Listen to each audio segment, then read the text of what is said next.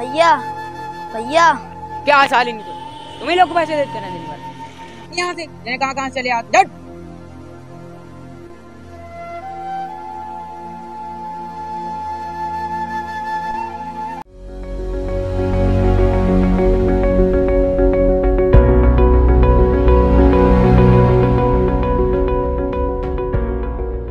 भैया कुछ पैसे दे दो मैंने दो दिन से कुछ खाया नहीं अच्छा अच्छा रुको।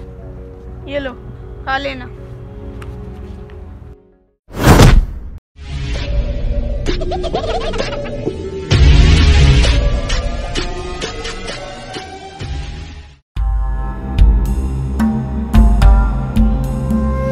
भैया कुछ खा पैसे दे दो खाने के लिए कुछ। ओम फो पैसे लेगा।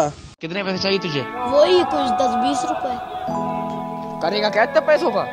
सब दाल रोटी चावल। बंद करो अपनी बकवास।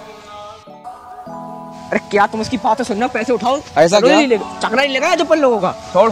छोड़। चलो जल्दी जल्दी भाग।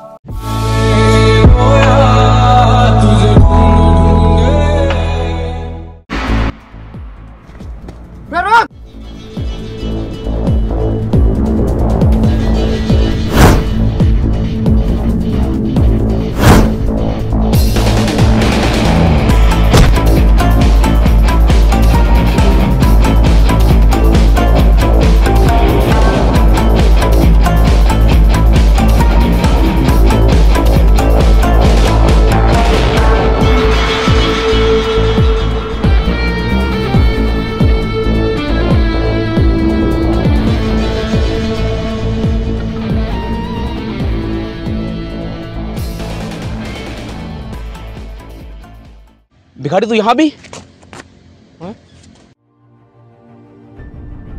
ले भैया उसका भीख छीन लिया। तेरा भी छीनता हूँ साले। देख ऐसा है इज़्ज़त से इसके पैसे दे दे। नहीं तेरा क्या करेगा तू?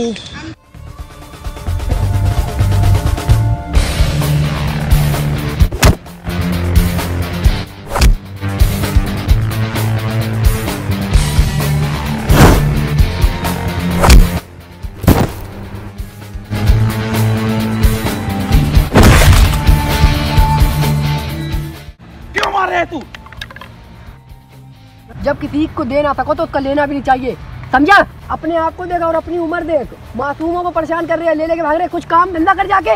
वैसे अल्लाह ताला ने सबका फ़र्ज़ करा देना। और तुम उनकी चीज़ें ले लेके भाग रहे हो तुम्हें देना चाहिए उल्टे। माफ़ करना भाई आगे ध्यान रखूँगा। ठीक है।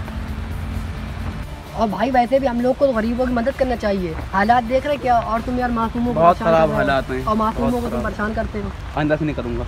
ठीक है दोस्तों, रसूलुल्लाह सल्लल्लाहु अलैहि वसल्लम ने इरशाद फरमाया जिस शख्स ने किसी गरीब का नाहक पैसा मारा या चोरी की तो ऐसे काम को रसूलुल्लाह सल्लल्लाहु अलैहि वसल्लम ने हराम बताया तो हमें इस काम से बचना चाहिए और ज़्यादा से ज़्यादा लोगों की परेशानियों को दूर करना चाहिए और गरीबों की मदद करना चाहिए तो अगर आप लोगों को हमारी वीडियो अच्छी लगी तो एक लाइक करें और हमारे चैनल पर नए हो तो चैनल को सब्सक्राइब करके बेल आइकन ज़रूर से।